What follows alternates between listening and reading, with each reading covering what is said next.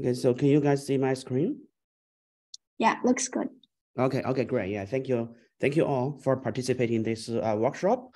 And uh, because of the special request uh, of some you know, speakers, you know, my talk was uh, moved uh, a little bit earlier. And um, um, I'm going to uh, discuss you know, quasi 1D topological insulators today. And by quasi 1D and materials, this is just a materials definition, and the, the materials are still bulk materials.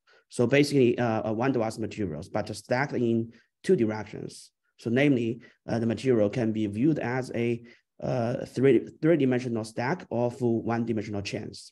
And then there are two uh, stacking directions. Okay, so uh,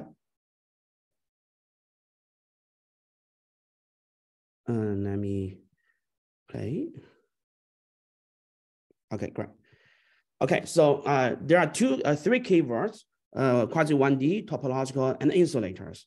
So uh, if we look for uh, this kind of materials, uh, the first thing we should do nowadays probably is just look at the so-called topological materials database established by our previous speaker and other colleagues. For example, in this, you know, three literature papers, all the materials in the database have, have been topologically classified. So if we use these three keywords, so probably the only material we can find is the bismuth bromide. And, and that is the only uh, quasi 1D topological insulator with a, a global gap bigger than 10 millielectron volt. And actually, uh, bismuth iodide, a similar material, is, is classified as a triple insulator there, but actually this is a, a topological uh, insulator at high temperature and at low temperature, as we will see. So we, uh, for, for this reason, by quasi 1D, uh, topological insulators.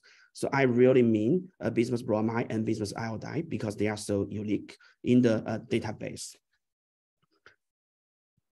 And the uh, take-home message today is, uh, you know, this um, this family of materials is really uh, unique. It has uh, very rich properties.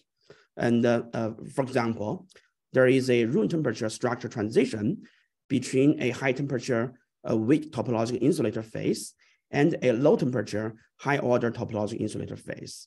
And uh, uh, the magic here is, is van der Waals materials with a very weak interlayer uh, coupling. And each layer is actually a quantum spin Hall insulator with a gap as large as uh, 250 millielectron volt, which is 10 times larger than our room temperature. And, uh, and, and in this system, uh, if we add you know, a, a small pressure, uh, the material can also superconduct. So I should point out that you know the, the topological property in this family of materials can be uh, well understood by using a so-called surface uh, Schrieffer-Heeger model to understand, which is uh, detailed in this archive paper. Okay, and this is the most important uh, slide today.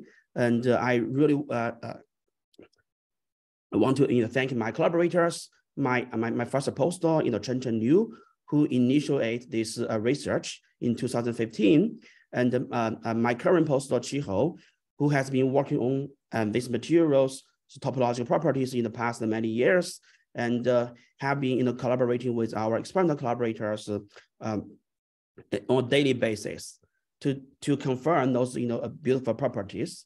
And that means that you know, I also uh, grateful to have a group of wonderful collaborators, you know, Ming and Bob, Bob Birgeneau on uh, doing spectroscopy studies and uh, Jeanie Lau at Ohio State University doing um, uh, quantum transport, you know, and fabricate a field effect transistor device. You know, Zahid Hasan's group doing uh, tunneling measurements and uh, uh, my own, uh, my UTD colleague, Bing Lv, who uh, grow very high quality materials. And I also, you know, um, feel guilty to these uh, students and, and postdocs, you know, who have been working on who have been working on these materials for years uh, with me, and but I'm still holding their manuscripts, even though the results are pretty uh, uh interesting. Uh, hopefully, we'll get the uh, this done very soon. Okay, so here is a figure I want to use to clarify our our notation today, and um, think about this is a three-dimensional material uh, the, the plateau here, that is the uh, top surface. And uh, uh, the, the side here is uh, can be viewed as the side surface. Okay, between the two kinds of surfaces, there is a one-dimensional boundary, and uh, I will call that as a hinge. And uh, down to the bottom of the figure, there is a, a, very beautiful beach, and and this is a one-dimensional boundary. So I will call that as as edge. So uh, in this type of materials, what's special is uh, both the top and the side surfaces can be uh, naturally cleavage surfaces, and we, people can do experiments there. And the hinge state uh, here is also a, a cleavage hinge state. So there, there will be no dangling bonds to, to, to mess up the physics. Okay, so why, uh, you know, topological boundary modes? And uh, I think, you know, after uh, two decades of extensive study about uh, topological insulators. I think people have their own answer, and here's my answer. So suppose I place you in, in, the sands. So how many uh, days uh, you would like to be there? And on the other hand, if I place you, you in the ocean, so how many hours you would like to be there? However, you know, some of you may, may just come back from vacation. And if I place you on the boundary of the ocean and the sands, probably you want to stay there for a month, right? Okay, so then the, the other question is why we want you know quasi 1D uh, topological insulator. So uh, in 2015, there there was a uh, Nobel Prize you know symposium. So in that symposium, you know, um, uh, uh Jim Lee pointed out one fact. So he mentioned that there are at that time there there were already over a dozen uh, materials which are strong topological insulator. But however, uh, there, there, there's no, there was no weak topological insulator then. And, and you know, of, of, of course, nowadays, you know, a with the established topological materials database, probably the number of strong, strong topological insulator is over um, 500. But for the weak TI, uh, if you really, you know, uh, search uh, the database, you, you might get, you know, uh, an answer roughly around five. But then if you hand those answers to uh, material growers, they probably will tell you, okay, I, am only I only want to grow bismuth bromide. Uh, other all other or, or bismuth iodide, all other materials are kind of not realistically um, growable. Okay, so that is the reason we look for quasi 1D. And let's look at you know, a weak TI. A weak TI you know, uh, usually can be uh, thought as a, a stack of a quantum spin Hall insulator along the z direction. And for example, uh, in the simplistic case, and uh, uh, in the momentum space along the z direction, at two uh, high symmetry points, there will be a band inversion each.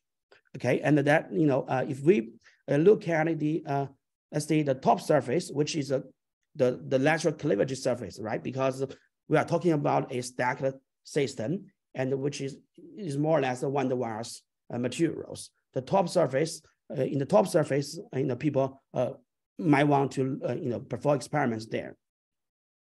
And, but there, you know, uh, the two high symmetry points with band inversions will project to the same point. So therefore, the consequence of their topological band inversion will, will cancel out. Uh, as, as, as, as a result, uh, the, the top surface state is completely gapped. So there's no uh, gapless feature you can observe there. So therefore, even you have a, a weak TI like this, so how can you uh, confirm it in experiment? There's no way to do it, right? And but however, if you project these two uh, high symmetry points with band inversions to the side surface, for example, on the uh, 01 uh, 100 side surface, and then these two high symmetry points would be uh, at these two um, special points with a very large momentum separation uh, around the pi. So therefore, their consequence can can uh, can can can remain and without you know uh, interference if the translation symmetry uh, is uh, is unbroken by average. So, but however, if you know for a van der Waals materials, we know the side surface is not good because there are a lot of dangling bonds. So those you know uh, actual states would max up the uh, physics of weak TI. So, so for that reason, uh, a possible solution to uh, confirm a weak TI is to um, have a 3D material, which is a stack of 1D atomic chains. So because, you know, in this case, there will be two natural cuts. For example, uh, if the uh, chain direction is in the B direction, then 001 and 10 uh, uh, planes are uh, naturally uh, cleavable. Okay, this is the original motivation why we look for you know quasi 1D materials for weak TI in 2015. And here just give you some um, uh, real space um, visualization for this kind of materials grown by my uh, colleague Bin. Uh, it's really quasi 1D and uh, uh, it, it, feels like our, our hairs. It's very soft and very long in the chain direction and kind of narrow in the two the other two directions. Okay, so excuse me.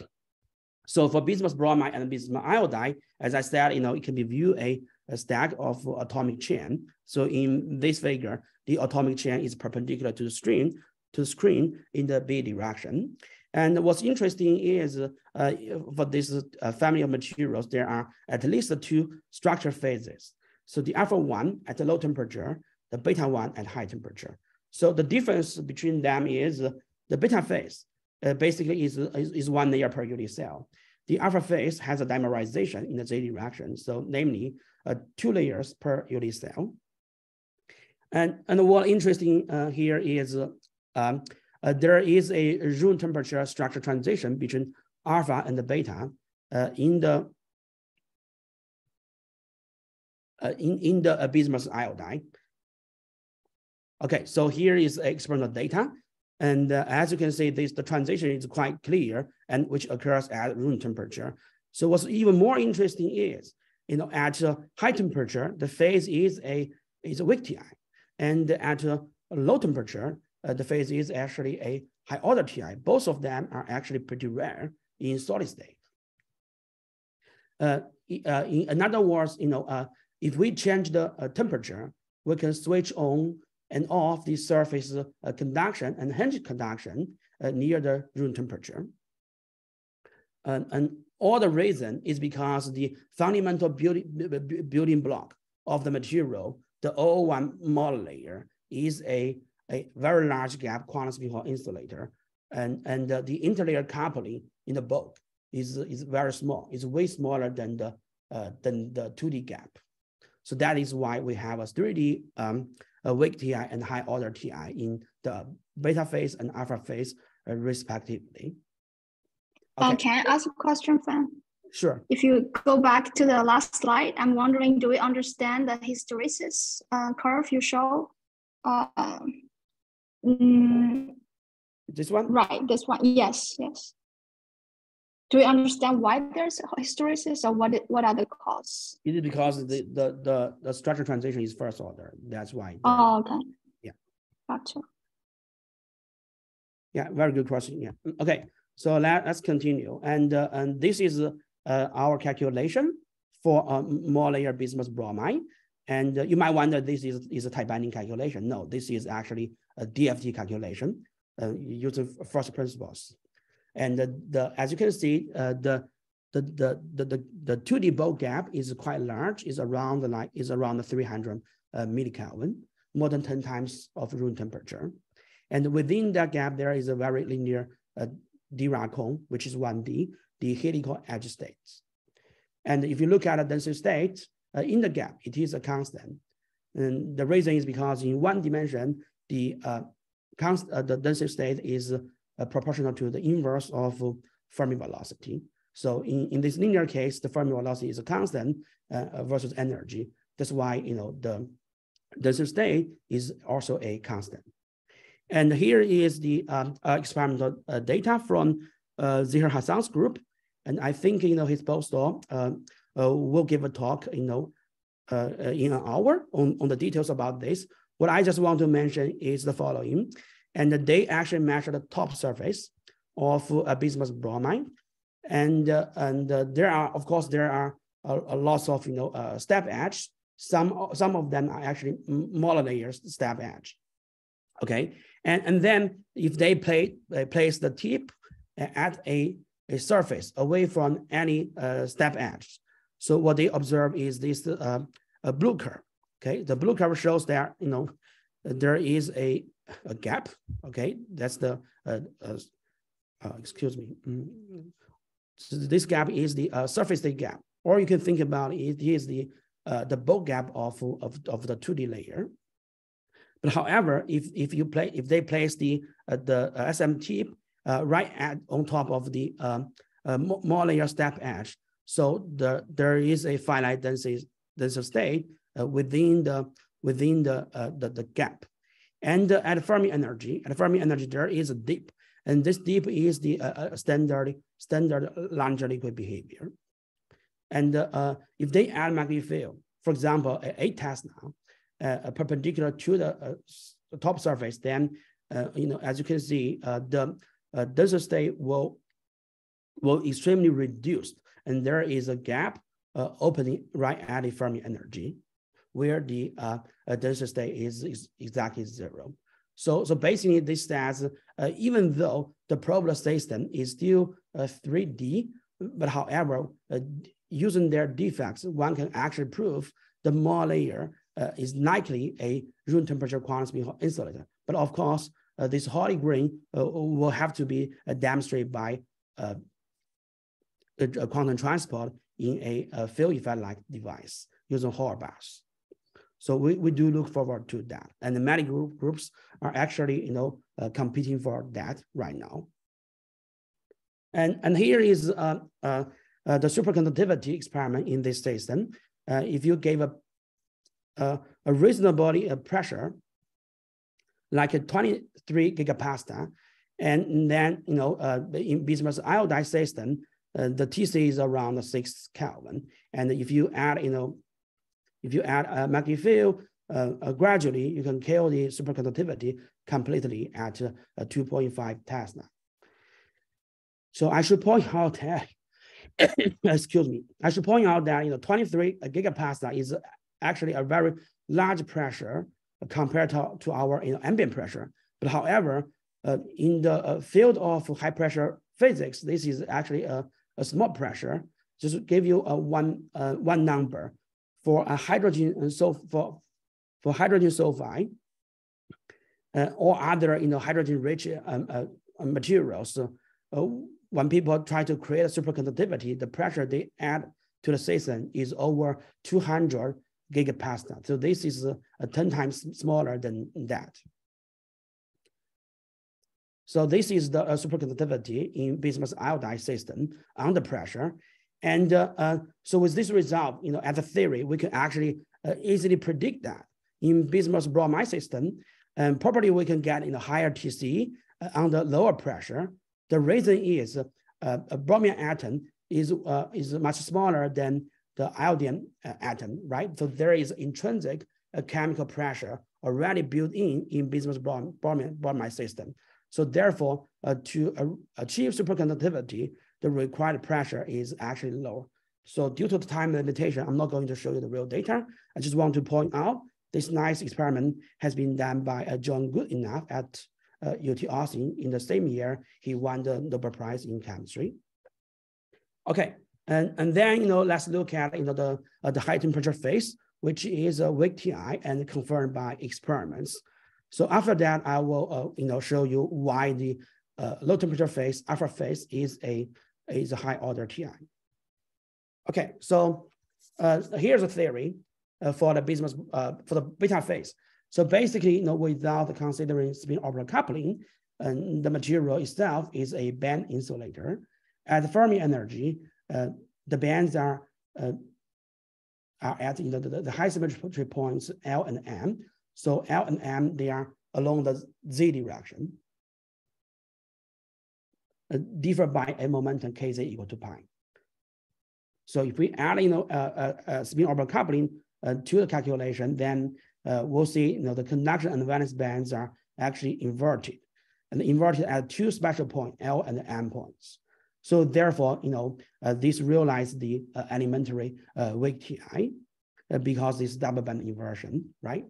And here is the um, the surface state calculation. You know, this is the, the, the, the, the gap, and this is one surface Dirac cone at in the G bar. There is another surface Dirac cone at A bar. So this may not look like a Dirac cone because of the strong anisotropy. But nevertheless, this is a quasi 1D material. The Fermi, velocity uh, are different, you know, by one order of magnitude in different directions. That is why, you know, uh, there is a strong anisotropy in this Dirac cone. But nevertheless, you know, uh, these two Dirac cones have to be uh, connected in between these two uh, points and where there will be a, a, saddle points in the band structure and uh, a van Hove singularity in denser states. So uh, if you want to look at a Fermi surface uh, plot, let's let's say you know suppose we go from zero zero energy, which is here, which is below the lower saddle point, and the two let's say 30 millivolt volt, which is above the higher uh, saddle points. So there is a number of uh, Lifshitz transition that will occur uh, in this system. And what's interesting is, um, you know, beyond the van Hove singularity, actually the, the, the, the Fermi surface is open and in between the Fermi surfaces are closed. And, and because of these two Dirac points are at a different energy, if we put Fermi energy in between, you know, one can get a electron pocket here, but a, a hole pocket there and at some special fine tuning energy, uh, there, there is a perfect uh, nesting between this pocket and that pocket. Okay, so uh, because the material is quasi 1D and very soft, perhaps the uniaxial strain uh, is a realistic you know, uh, tool that can be applied to the system. So if that's the case, and, uh, and the, the, our calculation shows that um, uh, if we apply a, a unitary, uh, uh the uniaxial uh, uh, strain to the system, uh, let's say along the a-axis. So what's interesting is if we compress the system, then the system tends to stable as a weak TI. if we, you know, enlarge the enlarge enlarge the systems, then a stretch the system, then the system tend to be a strong TI. If we further uh, stretch the system, then the system becomes a, a normal insulator. And as you can see, the, uh, uh, the strain uh, level is not that large. It's just like a, to, to get a transition, for example, in bismuth bromide, and we only need like a, a 1% of the tensile strain. Okay, so now let's look at you know uh, the experimental uh, demonstration uh, on the the weak TI and and by by a, Ming and Birgeneau so uh, uh, this is the uh, material and uh, uh, the this this direction, okay, the ky direction is the chain direction. So uh, therefore the top surface and the side surface here, so both of them are cleavable. So what we do is we have samples from the same batch. And for some of them, we cleave the top surface and shine a laser, and the laser will be only on the top surface. For another um, group of samples for the same batch, we cleave it, uh, we cleave the side surface, and the, the we shine the uh, the laser uh, only to the side surface. Therefore, we can uh, separately observe the, uh, surface features of these two uh, surfaces. And you know, these are the kind of the signature. As you can see, they are quite different. So in the side surface, you already see this kind of a quasi 1D Fermi surface, which demonstrate this material is a one-to-one material along the along the z direction. Okay, so um, uh, if we zoom in um, uh, for uh, of the top surface and look at the, uh, energy momentum dispersion, and at the gamma point, actually there is a uh, there is a big gap. At the M point, there there is a small band gap, which is around 165 millielectron volt. So that says the top surface is is complete gap. It's a surface insulator. And now let's look at you know the side surface. A side surface turns out um, in the energy momentum dispersion, uh, we can identify two Dirac points at the uh, gamma and Z bar points respectively. And if we uh, zoom in further, uh, we can identify, you know, uh, the two Dirac points are actually at different energies, and which are different by uh, 30 millivolt. And this is a kind of like a summary uh, cartoon uh, for the material. At top surface, the surface state is complete gap. At side surface, uh, there are two uh, gapless Dirac cone. And because there are two gapless Dirac cone, actually uh, the the band structure should look like this, right? And one Dirac point and second Dirac point, and these two Dirac cone has to be connect at, uh, at, some you know energy, and where there is a, a van Hove singularity in the uh, in the denser state uh, for the positive energy and for the uh, negative energy. So basically, there are two uh, two sets of uh, of points.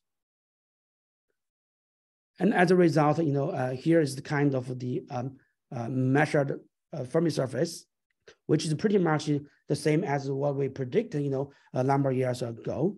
And as we can see, beyond above the uh, beyond or, or beyond the lower uh, Van Hove singularity or above the higher van Hove singularity, the Fermi surface is completely open. And you know, uh, um, and, and uh, uh, when if we place the Fermi energy in between the two Dirac points, and then we can get this um, electron pocket here and the hole pocket uh, at the different symmetry points. And if we fine tune the energy, we can make these uh, two pockets perfect nesting.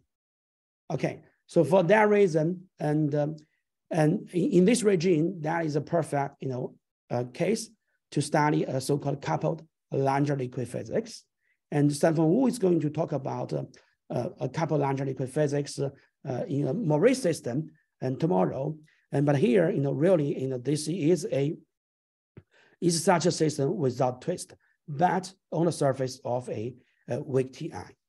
And you know, um, for the van Hove singularity, we also know that you know this is a, platform for uh, a strongly correlated physics, as we all see in the past few years for the uh, topological Kagome metals and uh, twisted bilayer graphene, rhombohedral um, stacked uh, multi-layer graphene, uh, AB bilayer graphene. So all their, you know, all their uh, strongly correlated physics arise from, you know, Van Hove singularity. So therefore, you know, at that particular, you know, energy, the surface of weak TI is also, can also host, you know, many body uh, physics. That's a way to be discovered. And this uh, perfect nesting is a, a, a interesting case to look for, you know, exciton uh, condensation, of course, the indirect exciton condensation uh, without a laser. Okay, so so with that, you know, um, um, a theory and experimental confirmation of weak TI uh, in the beta phase. So I'm going to move the uh, to the uh, alpha phase, which is a high order TI. And now I'm going to use the a, a surface Schrieffer-Heeger model uh, to demonstrate that. Okay, so uh, before that, I just want to um, uh, um, uh, briefly introduce what is you know, high order topological matter, uh, just in case some of the audience uh, do not have that kind of background. So, so basically high order topological matter is, uh, is a special uh, fancy lattice uh, phase that has a protonic gaping state only on boundary of more than one dimension node. So what that means? Let's look at this picture. So for example, in the first panel, the bulk is insulating However, the surface is conducting. For example, bismuth right, is a, uh, first order topology insulator. And the weak TI we discussed just now is another type of first order uh, topology insulator. So in, in the second order one, uh, in this case, the, uh, not only the bulk is insulating, the surface is also insulating. But however, uh, between the different surfaces, there can be some uh, one-dimensional boundaries. We call them as hinge. So the hinge can be uh, can be uh, Dirac-like without gap, and therefore um, they can be uh, conducting channels. So this is a, a, second order TI. So the high order topological matter uh, in bismuth uh, bromide bismuth iodide family. So what we mean is a, a second order 3D topological insulator with time reversal symmetry. Okay. And uh, just give you another example. So originally, and uh, this kind of uh, uh, phase of matter uh, was proposed by us in 2013. And the simplest way to think of, to conceive such a phase is look at just look at you know um, bismuth telluride, a very standard you know strong topology insulator. It has a, a gapless Dirac point at any surface, now let's try to break time reversal symmetry uh, in this system. So uh, as a result, the surface uh, uh, state will, will have a gap open and that gap opening produce a, a produce a long travel a half Chern number, one half or minus one half, depends on the direction of magnetization at the surface. So uh, if the two surfaces, you know, have different um, uh, magnetization or magnetization, and then they can and they can there can be a a a, a one-dimensional chiral edge mode, you know, uh, uh in, in between these uh, uh, two surfaces. The reason is because there is a half Chern number here, there is a minus one half Chern number here. The difference is is Chern number one. That's why there can be a a a, a chiral edge mode here. Of course, the chiral edge cannot stop, right? It, it has to form a loop. So that that you know whether the loop is on the on the top or around the material that depends on the detail of the magnetization of this strong TI. But nevertheless, this high nine, uh, there is a simple way to understand so why there exists such a high order uh, phase. So uh, that is really uh, in 2013, and uh, of course, you know the field really took off because of the work by um, our previous speaker and his postdoc and many other colleagues uh, around 2018, they generalized the idea to all kinds of uh, symmetry classes. And they uh, proposed, you know, uh, this beautiful name, high order uh, TI, and therefore the field took off. And, and what I want to uh, point out is, is, is that, you know, so far for solid state, for solid state materials, if you look for uh, insulating materials, okay, or semiconducting materials of, in the experimental sense, the only material that is a high order TI with time reversal symmetry. So probably it is bismuth bromide and bismuth iodide, no other materials at all. Okay, so excuse me. Okay, so uh, to introduce the uh, uh, the the Schrieffer-Heeger model at surface uh, to understand the uh, high order TI, so I just want to mention, and the building block, which is the uh, O1 modulator, and this is a large gap quantum spin Hall insulator. And the interlayer autonomy is way smaller uh, than the, uh, is way smaller than the uh, gap. So if you want numbers, the, uh, okay, the 2D gap is around uh, 200 millivolt. But however, the interlayer autonomy at the edge is just around 10 to 20 millivolt. And that is why you know the tunneling at the edge cannot you know affect the bulk gap. Okay, so uh, let's look at you know uh, this one. Uh, this is uh, uh the beta phase. The beta phase you know uh, has the, the the feature of one layer per unit cell, and each layer is a large gap quantum spin insulator, and the, the system has inversion symmetry.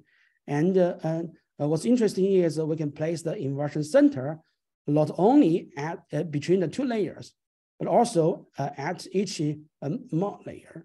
So as a result, so um, uh, the interlayer coupling at the edge are very uniform on, on each edge, or if you even you consider the two edge, the, the two surfaces, okay, the, the interlayer coupling everywhere needs to be the same. Because you know, if, if you place the inversion center here, uh, the inversion symmetry says you know this coupling and that coupling needs to be the same, right? And if you place the inversion center here, it says this coupling and that coupling needs to be the same.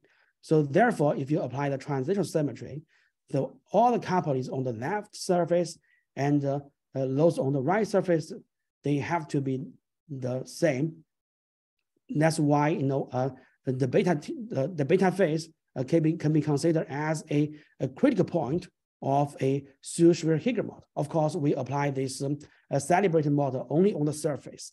And the surface is a coupled of helical edge states, right?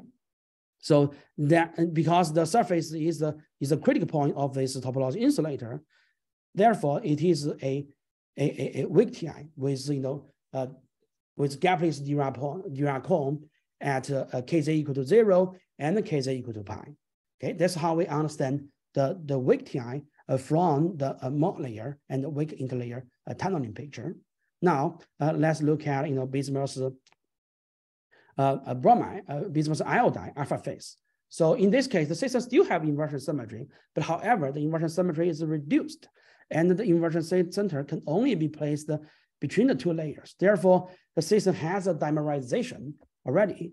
And now let's look at you know uh, uh, the role of this uh, inversion center being placed here. So if we place the inversion here, it says the coupling here and here needs to be the same. If we place here, it says this coupling and that coupling need to be the same. But however, there is no symmetry that relates you know uh, this coupling and that coupling. And remember, the, the system has two layer per unit cell. The translation symmetry only says this coupling and that coupling are the same, right? So therefore, uh, naturally, you know, uh, in each surf in each side surfaces, there is a, a, a dimerization of the uh, helical edge states. And uh, as a result, the, the, the, the, surface the surface state is, is, is gapped. Uh, the other feature is that, you know, because the inversion center uh, is right here between the two layers, the dimerization pattern on the left side and, the and that on the right side have to be the same. So that means uh, if we uh, uh, terminate the, the top surface uh, right here, okay, right here. So uh, at both side, at both side, there will be you know hinge states. Uh, if we terminate right here at both sides, you know there will be no hinge states. Okay, so there, this is our calculation. And on the top panel, the, the green part shows the hinge state loop. So as I said, you know, uh, if you, we look we look at a top surface, you can have a a, a hinge state loop, or uh, there's no hinge state loop at all. Uh, the same is true for the um, bottom surface. So um, as a result, there are four uh, different scenarios for these materials, depends on how you uh, terminate the top and bottom surfaces. This is the case for bismuth iodide. And uh, uh, now let's look at you know, bismuth bromide. And uh, bismuth bromide in alpha phase you know, also has inversion symmetry. But however, unlike in the alpha phase bismuth iodide, the inversion center is not here. Instead, is at each smaller layer. Okay, so for example, if place the inversion center right here, that says this coupling and that coupling have to be the same. And this coupling and that coupling have to be the same. So again, because of two layer per unit cell nature, and there's no symmetry relates, you know, this coupling and that coupling. So therefore, at each side surface, there is a, a dimerization, and, uh, and therefore the, the surface state is actually is actually gapped. But however, because of this special uh, inversion center location, and, and the, the symmetry says, you know, the dimerization pattern on the left side and that on the right side have to be opposite. So that means uh, um, uh, if we uh, terminate the top surface uh, um, right here, right here, okay, and this is going to be a, a hinge state. If we terminate top surface right here, and that one is going to be a hinge state. So uh, uh, namely, no matter how we terminate the top surface, there will be always one and only one hinge state at top surface. And likewise for the, for the bottom surface. So therefore, there, there will be you know, four scenarios for, for this case. And, uh, and in each scenario, there will be only one hinge state on the top and one hinge state on the bottom. And if you look at you know, the band structure calculation right here, so uh, the black one are actually the gap to surface state. There's a gap around uh, around uh, 15 to 20 millivolt. And in the gap, there is, uh, you know, gapless uh, Dirac cone and the green one, which is the uh, 1D uh, gapless hinge states uh, shown here. Of course, you know, uh, the precise feature of these, these uh, hinge states depends on how you terminate the top and bottom surfaces. And I should point out that, you know, uh, in a Nature Materials paper last year, uh, they claim they identify the hinge state experimentally. But I have to say, you know, uh, uh, the data is correct, but however, their interpretation is wrong because what they they basically observe is the gapped uh, surface state. They do not have the resolution and to resolve this uh, small gap, and they mistakenly in the thought they observe you know a gap is hinge mode, but turns out what they observe is actually the um, uh, a gap surface state and without the resolution for the gap. And the other uh, the other indication for for for what I claim is uh, is you know Zahid Hasan's group's uh, uh, tunneling experiment. They shows you know for for this kind of in the hinge state, the the the, the thickness or the penetration length is just like a, uh, two or three nanometer. Okay, so but in in in in the Nature Materials um, um, experiment in in in the Japanese group, you know the the spatial resolution is more or less like a, is more than 100 uh, nanometer. So therefore, and uh, it is fair to say what they actually observe is the uh, surface state. Okay, so uh, with that, you know, uh, I'm just going to uh, summarize my talk. Is this picture, and this is near Aspen, and where we uh, first got the idea uh, to study bismuth bromide and bismuth iodide in 2015. And if we turn this uh, by 90 degree, and this is very like our band structure of bismuth bromide, and the conduction band, the valence band, and in between there is a, a bulk gap, and in the bulk gap is, is, is not, you know, mm, there are something interesting, right? Because the band gap can host a 2D surface state, 1D hinge state, or no state at all. So all depends on the structure phase, the pressure condition, and the temperature of the material. And I should point out that, you know, uh, I, uh, this system is also a platform for uh, many-body physics in the future. So with that, I would like to uh, thank my uh, collaborator again. And uh, thank you all. Thank you, Fan, for the great talk. Uh, now we open for Q&A. Uh, please raise your hand. Or if you cannot raise your hand, just unmute yourself and, and speak up. Um, okay, maybe I can, okay, go ahead, Andrei. Hi, sorry, just a quick uh, question. So all these phases, uh, you, you might have said it and I missed it. All these phases have inversion symmetry? Uh, yes, all of them have inversion symmetry. Uh, but however, the, the, the difference is, uh, uh, you know, the beta phase has more inversion symmetry. For example, you, you can place the inversion center right here and right here. But for the alpha phase, in, in bismuth iodide, the inversion center is only between the two layers. But for the bismuth bromide alpha phase, the inversion center is, is in each layer. So, okay, the short answer is all of them have uh, inversion symmetries. And and and the and and the higher order topology is stabilized by inversion? Or if i break inversion if you break inversion and they, they, they still there. And i mean it really depends on i think in the field there are different definitions for high order topology. So uh, if i only use the local uh, uh, the local language right the surface state uh, the, the labeling two surfaces uh, have gap um, and you know and the and the the, the, the gap is uh, the channel is 1D, is a helical gap is 1D states. And therefore, if you break inversion symmetry weakly, right, you, you wouldn't close the surface gap and you wouldn't open gap in the uh, 1D channel. Therefore, the hinge state is actually uh, stable. Thank you. Yeah, thank you. Uh, that's a very good question.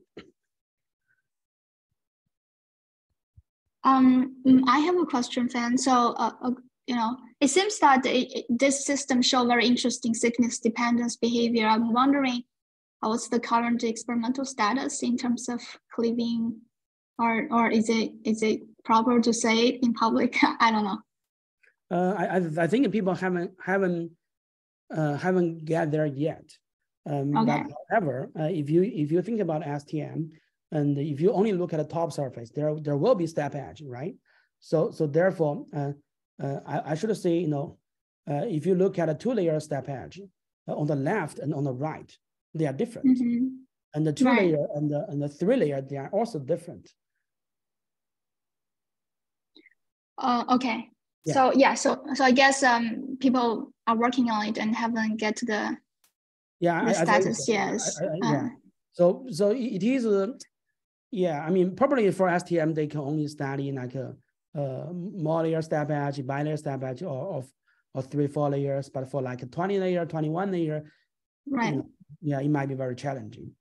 But, uh, right, but right. For, for, transport people, they they like to have a you know very flat surface, right? A very very beautiful uh, thickness. So so I have to say, you know, it, it is very interesting to study, you know, you know, uh, these kind of features. But however, um, one need to think about, uh, uh, one need to design experiments uh, cleverly. Right, right. Um, I agree. Um, thank you. Thank you. Uh, let's see if we have um, additional question from the audience. Um, Uh, yeah, I have a question. Uh, Fan, is the superconductivity induced by pressure is for the alpha phase or the Uh, beta phase? uh, wow. Uh, they claim is uh, okay. All of the paper claim is uh, is the beta phase because the beta phase uh, at that time, you know, they didn't know the alpha phase is high order TI. They only know the beta phase is weak TI, so they claim is uh, is beta phase. But um, uh, frankly, my understanding is, uh, in, for this kind type of materials, if you have like a, a pressure as large as uh, 20 gigapascal, it's, it's not going to be, it's going to be neither alpha nor beta. It's going to be a different structure. Okay, thank you. um, great. Due to the limitation of time, we should probably move on. If you have additional question, put it in the chat. I'm sure Fan will be happy to answer it. Um, Thank you. Thank you, Fan.